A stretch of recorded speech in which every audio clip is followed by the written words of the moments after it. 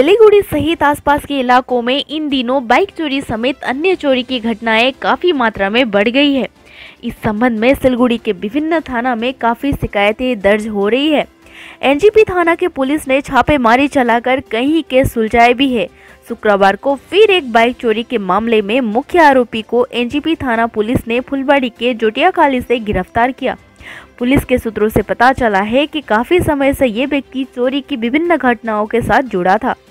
इसके खिलाफ पहले से ही कई मामले दर्ज थे। वो पुलिस उसे खोज ही रही थी। कल उसे आखिरकार पकड़ ही लिया। और आज जलपाईगुड़ी अदालत भेज दिया गया है। पूछताछ के लिए एनजीपी थाना पुलिस ने सात दिनों के लिए रिमांड में लेने की अदालत से अपील की है।